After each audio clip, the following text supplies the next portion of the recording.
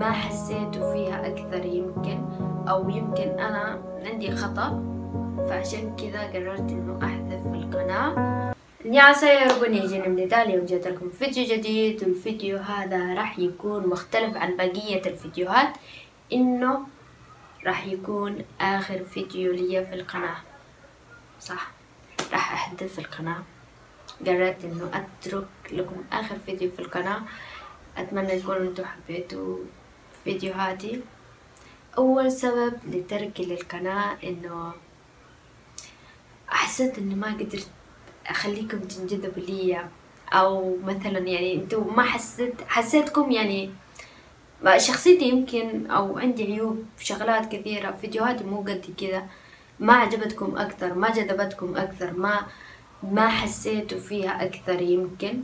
أو يمكن أنا عندي خطأ. فعشان كذا قررت إنه أحذف القناة وأترك اليوتيوب نهائيا.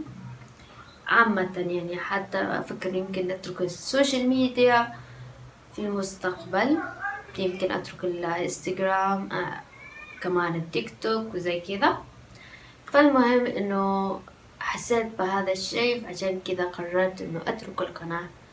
ثاني سبب لي لترك القناة إنه أنا هذه الفترة في تحديد مصير حياتي المستقبلية.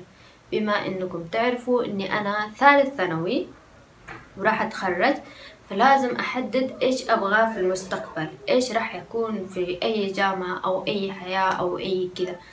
فهذه الفترة مرة فترة حساسة لي ولازم أحدده بالمستقبل إيش اللي راح أكون فيه. عشان كذا إنه ما عندي وقت كثير أصور في اليوتيوب أو كمان تقريبا كل مرة أصور فيه ياخد مني وقت ياخد مني جهد ياخد مني تفكير أكثر إنه أفكر في تصوير الفيديوهات أكثر. عشان كذا أحس بصداع أحس بتعب. بنفس الوقت ما ألقي التقدير وألاقي كمية ناس تعلق بطريقة غير إيجابية. ثالث شيء إنه تلقيت بهذه الفترة في حياتي يعني يمكن أكثر فترة في حياتي لقيت عنصرية وتنمر شديد على السوشيال ميديا. في منهم اللي يهددوني تهديد ترى في منهم يطردوني من البلاد حتى لو هم مو بلادهم يطردوني يعني يقولوا لي اطلع من كوريا انت كذا وكذا وكلام. هم ما هم عارفين شيء عني عن حياتي. يقولوا لي كلام فعلا جارح. يعني لو أنتوا تشوفوه لو إنسان لو حيوان ما أدري إيش السبب الكراهية اللي سووه سويته لهم. يعني إنهم يقولوا لي هذا الكلام كله. يعني أنا ما أدري إيش اللي عملته في حياتي عشان يتأذوا مني أو إيش اللي سويته لهم عشان يقولوا لي هذا الكلام. والله لو إنسان أكرهه ما أقول له هذا الكلام.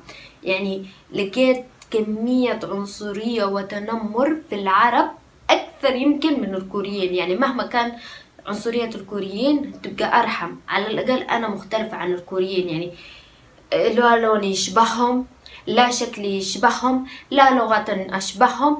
في مني أكيد حاجات مختلفة عن ثقافتهم صدرت مني فممكن يكونوا تعنصروا علي. أو ممكن عشان الإنسان الإنسان لما يشوف واحد غريب لازم يحب إنه يفرض شخصيته عليه. فعشان كذا ممكن سوى هذا الشيء. المهم إنه أنا انصدمت من كثر التعليقات يعني هم عرب زيي. نفس اللون نفس الشكل نفس هذا. سبوني بالأهل بالدين آه بالشكل. يعني تنمروا علي وسبوني بكل معنى من الكلمة sorry إنه اخويا قاعد يصرخ الحين. المهم إنه كان أسلوب كلامهم فعلا مو متحضر وكان مرة سلبي وتنمر هذه الفترة فعلا تنمر بشكل يعني مرة مو ملائم. فالمهم قررت إنه أترك القناة وأحس إنه كذا كفاية. و اعذروني لو أنا سويت حاجات أخطاء أو حاجات ما حبيتوها مني. أو صدرت مني ألفاظ أو صدرت مني شغلات ضايقتكم فاعذروني منه. اعذروني. المهم إنه خلاص هذا آخر فيديو لي في القناة وحابة أشكركم على الناس في ناس دعمتني يعني ما قلت شيء. بس فعلا لقيت عنصرية وتنمر انصدمت يعني شيء براسي. والله لو الكوري شاف هذا التنمر والعنصرية والكلام البذيء اللي يقولوه لي في التعليقات يعني انقلعي انت من مو من بلادك ليه تتصرفي. يعني تخيلت إنه الكوريين نفسهم راح يرحموني لو شافوا هذا الكلام يعني. والله كم أعرض كم تعليق سلبي على أصحابي يقولوا يضحكوا. يقولوا هذول الناس ترلي يعني مجانين يعني ما عندهم سالفة. فما أدري هذول الناس عبارة عن آه ناس يعني مو ما عندهم القدرة إنهم يظهروا شخصيتهم أو ناس حسودة ما عندهم سالفة فعشان كذا يعملوا هذا الشيء. فالمهم إنه هذا آخر فيديو لي في القناة وأشكركم كلكم وأحبكم مرة. وقبل ما أخلص الفيديو ذا راح أقول لكم كلمة أخيرة.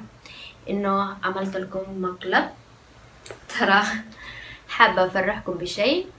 آه، مش عارفة إيه كيف أقوله لكم.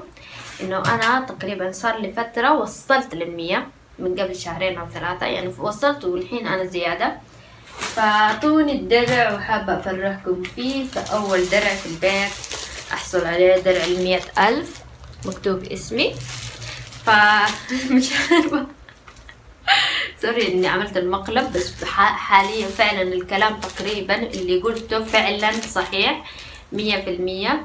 وكثير من الناس تعنصروا علي وسبوني وأهانوني وقالوا هذه الدولة مو دولتك وما أعرف إيش يعني يتخيلوا يتكلموا ويعرضوا يتمنوا يقتلوني ويقولوا لي إني أنا كذا وكذا وكذا. فعشان كذا أنا أقول هذول الناس مجرد ذباب إلكترونية. يعني عاملين زي الذباب لما يزن على الرأس. عاملين لما الذباب يشوف أكل يقعدوا يزنوا عليه. فهم عاملين زي كذا. آه المهم إنه إذا عندكم حلم أو عندكم شغلة لازم تنفذوه للنهاية. ترى أنا فتحت القناة بس عشان حبيت أوريكم حياتي. حياتي في كوريا حبيت إنه ما أصطنع شيء ما أجيب أي فيديوهات خارجة بس أنا حبيت إنه أوريكم روتين حياتي وشغلات كثيرة. بداية كان قبل ما أفتح القناة كنت حابة إنه أعلم الكوري بس لقيت نفسي إنه مو شاطرة بالكوري يعني مو شاطرة إني أدرس. فما لي الإمكانية إني أعلم ناس وأكذب عليهم وأقول لهم سوي كذا ولا تعلموا كذا بالنهاية أنا ما أكون آه قد الشيء يعني.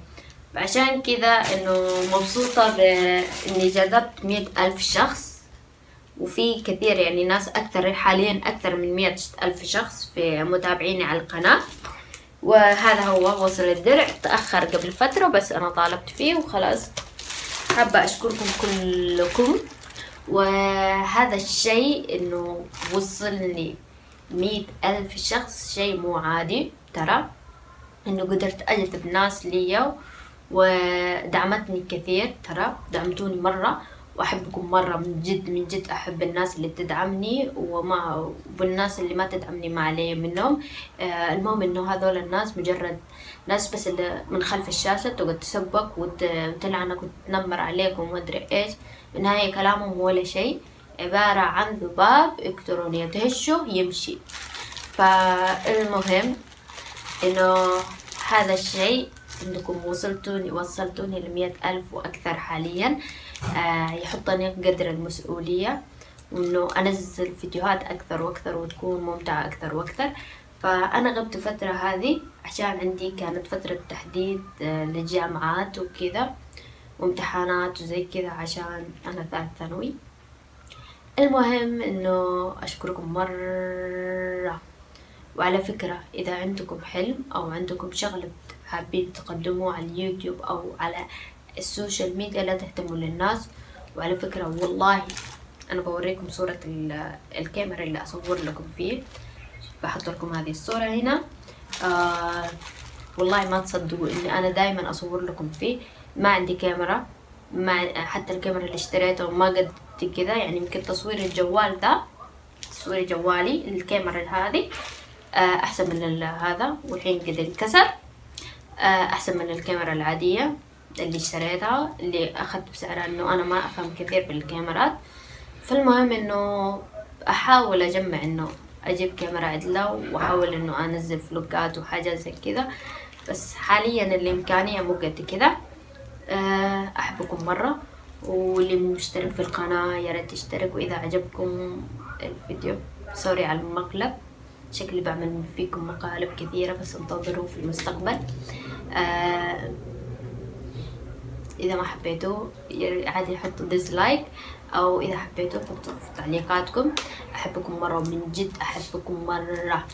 فمن جد آه، ما أعرف إيش أقول. أنا مبسوطة إني قدرت أجذب هذا المجموعة من الناس.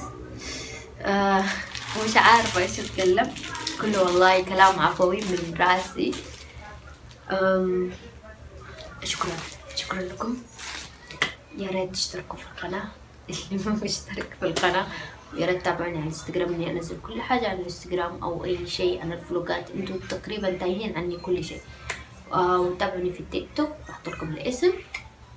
وما عليكم من الناس الحقودة والعنصري وإذا عندك هدف كملوا للنهاية. وعيشوا حياتكم وحبوا حياتكم أكثر وأكثر. وطنشوا أي أحد يتكلم لأنه هذول بالنهاية عبارة عن ذباب. أوكي؟ يلا مع السلامة وأشوفكم على خير.